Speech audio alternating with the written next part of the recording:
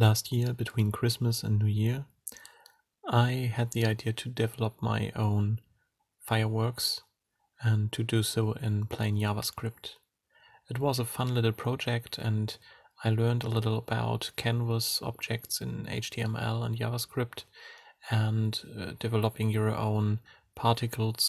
Yes, it was fun and uh, at the end it looked a little bit like this and I lost interest in it some days after New Year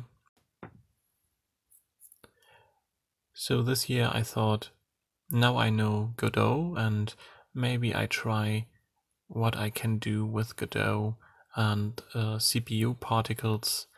I chose CPU particles because I want to share this with my friends and they should be able to watch this on a website without a high-end video card for gaming. So to start, I created this fountain uh, that sparkles just particles into the air and never stops with it.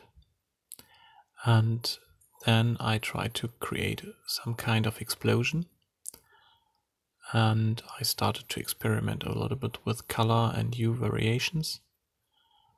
And it looked a little bit like this. Next thing is I wanted to stop the repeating um, of the explosion, so I made it a one shot. And I created a timer that starts to reposition the explosion every three seconds and then uh, stops it and starts it again at a new position. This worked okay-ish, but it was okay for the start and I really wanted to experiment with world environment and create a glow effect on everything. And with the glow effect, it really looks awesome. Although I, I didn't really do much right now. So what I learned from this is right before the world environment, I was at a point where it didn't work very well and I was a little demotivated to go on uh, right now. I thought maybe tomorrow, but then I put in the world environment and the glow, and it looks so much better and it's so much more polished that I automatically was motivated to go on. And so I went on and I created a rocket. And with the rocket, I got rid of all the code from before that didn't work well the code from before used the same explosion over and over again. It just started the particle emitting. But this didn't work sometimes because the particles from before weren't finished emitting, I think. So I changed this. The new code creates a rocket instance every time the timer hits and the timer tick is now 1.5 seconds.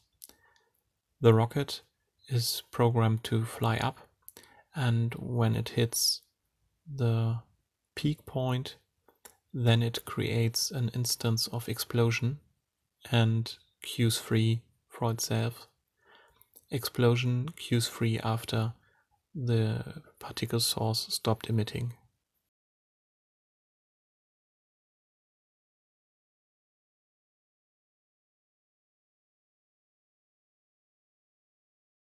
So this is what the project is looking right now.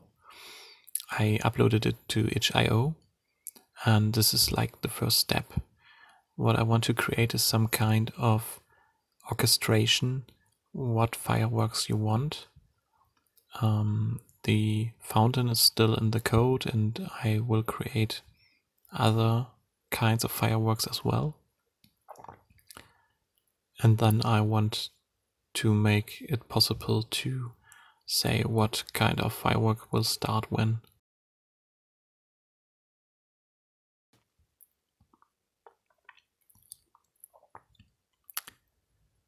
Thanks for watching.